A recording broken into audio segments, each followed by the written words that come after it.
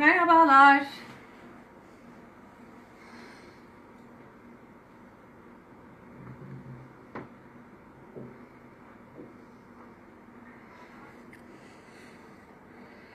Ses gelmiyor. Hazal Hanım bağlandı mı?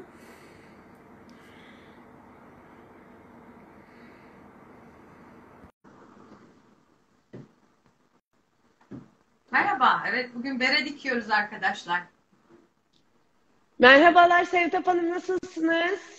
Merhabalar Hazal Hanımcığım. Teşekkürler. Siz iyi misiniz?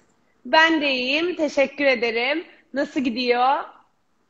Güzel gidiyor. Evde maskeleri bitirdik. Singer yazılı nakış makinalarımızda dikişlerini yaptık.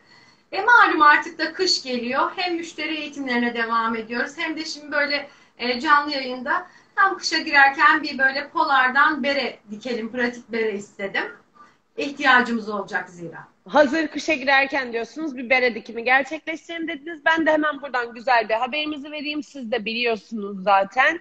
E, haftaya Facebook, Singer Türkiye Facebook hesabında e, her gün daha saatleri belli değil. Buradan size bildireceğiz. Singer Türkiye Instagram Evet. hesabından e, makine tanıtımlarımız gerçekleşecek. Canlı canlı öyle eğitim uzmanlarımız size makine tanıtımları yapacak. Hepsi ayrı ayrı makine tanıtımı gerçekleştirecek.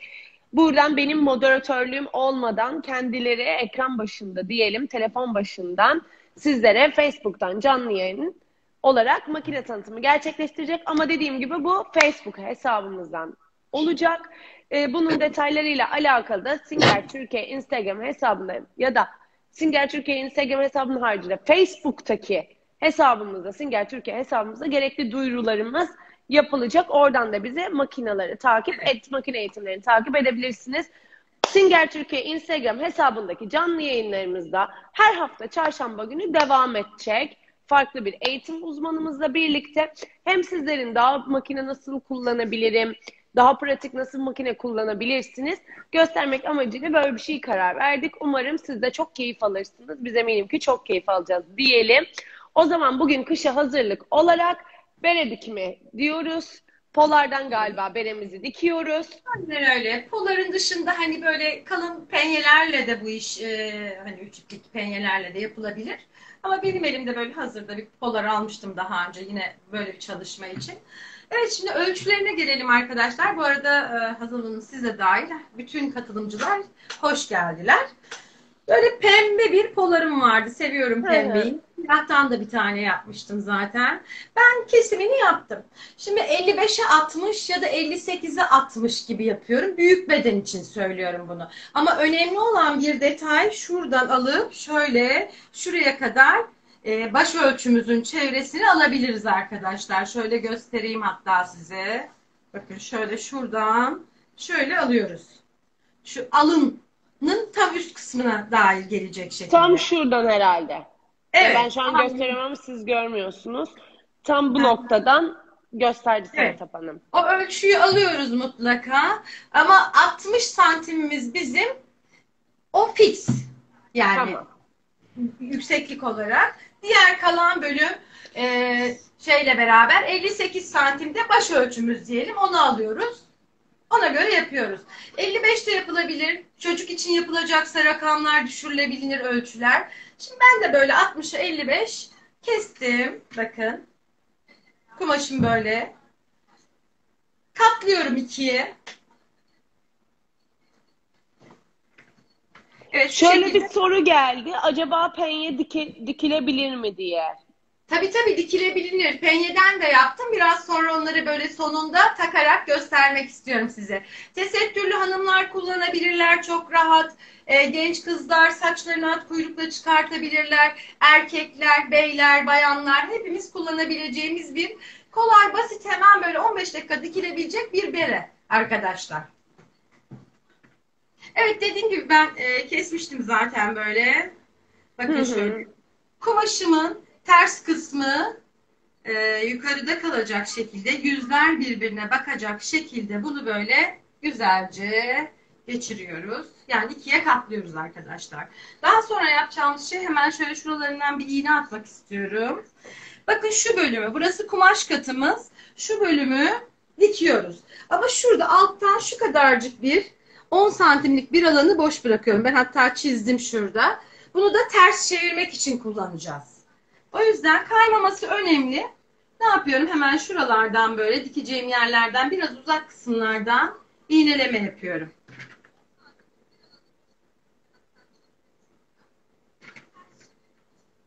Televizyon mu açık Sevtap Hanım? Hayır değil. Sizin mi sesiniz acaba eko olup yankılanıyor ya da benim sesim mi diye? Olabilir vallahi tam bilmiyorum ben de. Şöyle. Şuradan da aldım. Şöyle. Yeterli zaten bu kadar. Böyle Singer'in pembe Simple modelini e, kullanıyorum bugün. Hepsi pembe pembe olsun istedim. Evet ikiye katladığımız o uzun kenardan 10 santim alan bırakarak düz dikişle ama kalın bir kumaş olduğu için hem 14 numara iğne uygun çünkü çok sert bir kumaş değil malzeme değil. Hem de düz dikişte biraz dikiş adım ayarlarımı büyüterek böyle 3 milimlere vesaire getiriyorum hemen hemen o civarlarda daha kolay diksin diye. Bir ayak boyu mesafede bırakıp dikişimi gerçekleştiriyorum bir de geri yapalım. Tamamen düz dikişle yapıyoruz değil mi Sevtap Hanım? Tamamen düz dikişte yapıyoruz. Tamamen düz dikişte.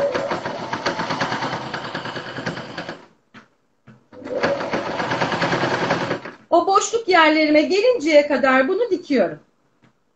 10 santim bıraktınız. O da tamamen ters çevirebilmek açısından.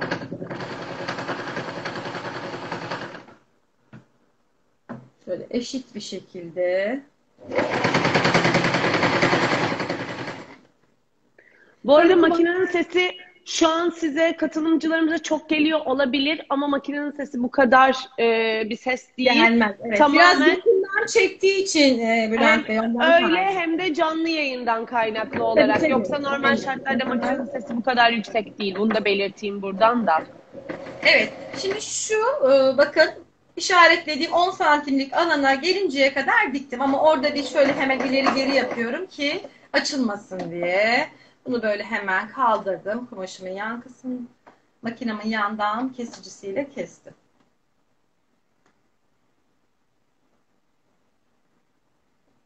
Evet bu aralığı bıraktıktan sonra diğer ucu da hemen dikiyorum. 10 santim aralık bırakmanızın sebebi Evet. tamamen kumaşı ters çevirebilmek açısından aslında.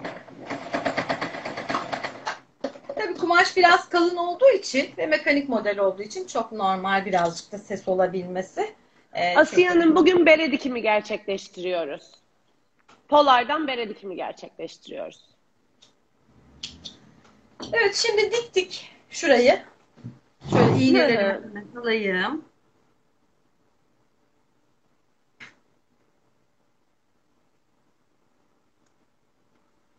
Şimdi yapacağımız işlemde şimdi şu dikilmiş olan kısım burası aralık bıraktığımız kısımdı. Şuradaki alanı tam bu ucu üstteki yani soldaki ucu alıyorum. Diğer uca getiriyorum böyle. Tam olarak şöyle. Tam köşe. Tam köşeyle birleştiriyorum aslında. Evet. evet Yani aynen aslında daha öncesinde kıvrılmış olan alanı diktiğim Evet. alanın köşesine yerleştirmiş oluyorum. Kesin- Kesinlikle öyle. Yine tersi. Diğer tarafı da alıp onu da bu tarafa getiriyorum bakın. Hı hı. Diğer kısma getiriyorum. Şimdi yapacağım işlem önemli bir detay burası. Şöyle getirdikten sonra şu dört kat oldu ya şimdi arkadaşlar. Evet. Dört katın şu ortadaki iki katını geriye doğru itekliyorum. Orayı dikmeyeceğim. Alt ve üsttekini dikiyorum. O yüzden onları arkaya doğru böyle atıp bir tane de hemen iğne atacağım. Ki dikişe iğnenin altına gelmesin diye. Ne yaptık? Ee, sol üstü sağ alta aldım. Sağ üstü sol Sol altı aldım.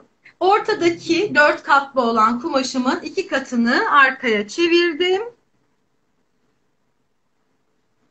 Aynı bu şekilde. Şimdi bu köşelerden başlayarak dikimini gerçekleştiriyoruz arkadaşlar. Söylediğim gibi ama mutlaka o ara iki katı asla dikmiyoruz. Bu önemli. Ara iki katı dikmiyoruz kesinlikle. Evet. Alt ve üst kumaşı birbirine tutturacak şekilde dikimimizi gerçekleştiriyoruz. Ortadaki iki kat mı geriye alındı? Evet, ortadaki iki kat geriye alındı. Şu şekilde şunları dikiyoruz.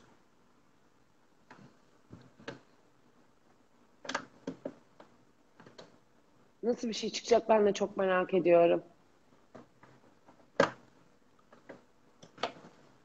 Şöyle birazcık. Biraz bu kalın kumaş hangi iğneyi kullanıyorsunuz Sevtap? Çok sert bir kumaş olmadığı için 14 numara kullanıyorum Hazal Hanım.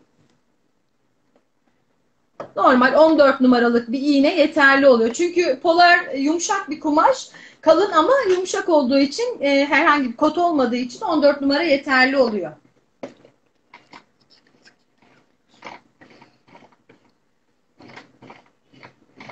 Evet şöyle elimle hemen başlattım. Oranın dikilmeden geçmesi gerekiyor ya. Önemli bir detay. hı.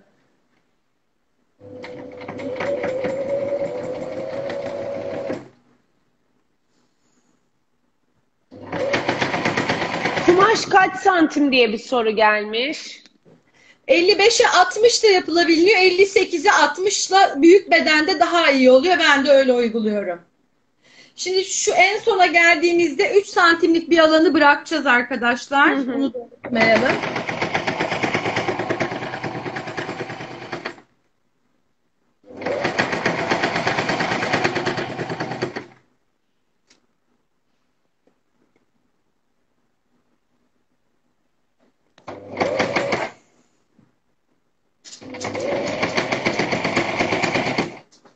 Şurada minik bir alanı bıraktım. Hemen bir sağlamlaştırma yaptım ve çıkarttım.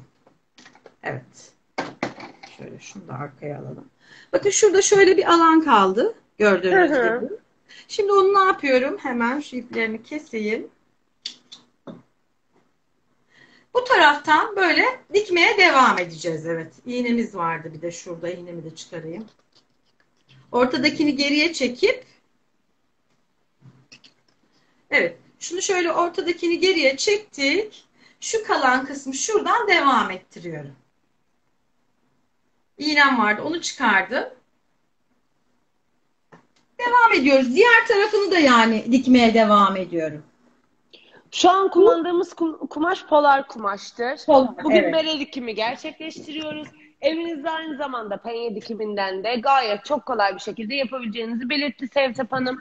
Penye dikimiyle de yapabilirsiniz. Hatta yayının bitiminde zaten penyeden de yaptığı şey gösterecek. Siyah var bir tane. E, overlock'la da çok kolay yapılabilir. Tek seferde hem kesimini hem dikimini yapabilirler.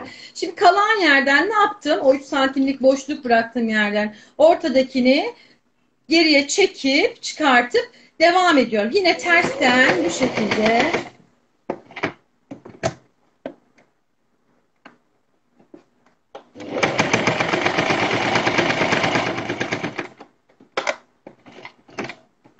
şöyle kenarda olduğu için biraz.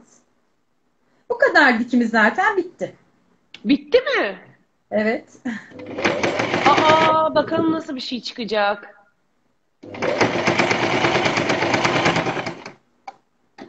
Tam şu an 12 dakikada yaptınız Sevtap Hanım. Anlata Evet. anlata.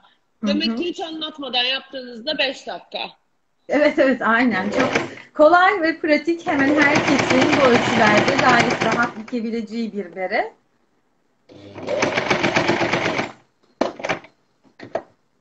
Böyle kenar olduğu için biraz.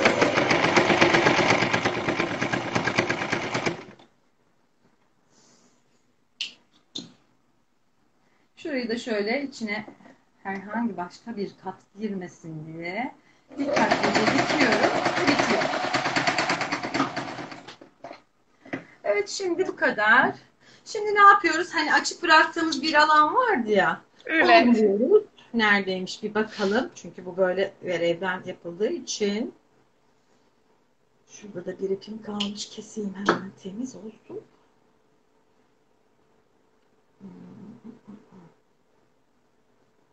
Hatırlarsanız ki 10 santim açıklık bırakmıştık. Sevtap Hanım şu an Evet, 10 evet. santimlik Evet, açıklığı. bunlar tabii birbirine geçtiği için hemen şöyle bulacağım ben onu şimdi. Evet, şurada o açıklık. Evet.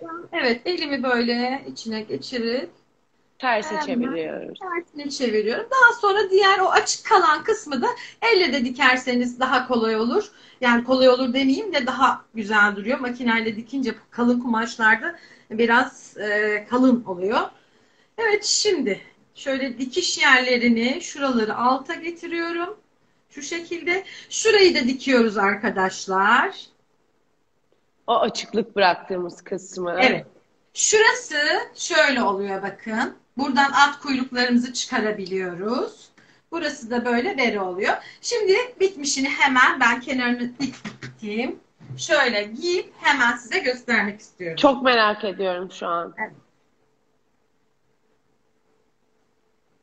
Şuradan bakın şuradan da çok rahat saçımı çıkarabiliyorum at kuyruğu. Şu şekilde. Böyle berem olmuş oldu.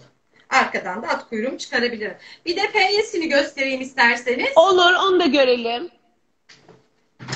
Şurada da bir siyah var. Polar yine. Ben şimdi saçımı toplayıp öyle göstereyim size.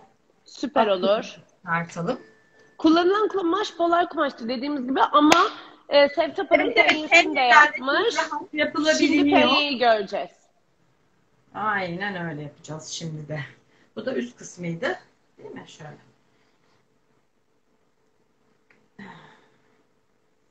Ay, dur ben de kendim şimdi yerini ayarlamaya çalışıyorum. Çünkü bunlar e, böyle çapraz verev dikildiği için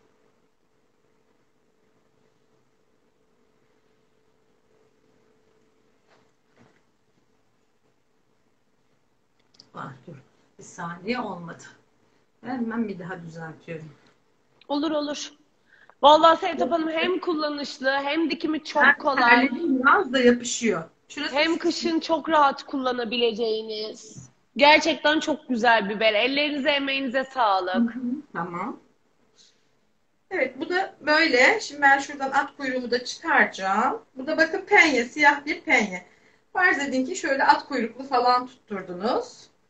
Saçınızı da buradan çıkartabiliyorsunuz. Hem çocukların hem gençlerin çok rahatlıkla kullanabileceği böyle. Tepesinde de bir minik bir açıklık var ama e, polarda mesela o çok belli olmuyor arkadaşlar. Şöyle hem buradan verev bir görüntü oluşuyor şu şekilde hem de gayet güzel buradan da çıkarabiliyorsunuz. Peki bir Yüksek şey ihtimal- soracağım. Sevtap Hanım.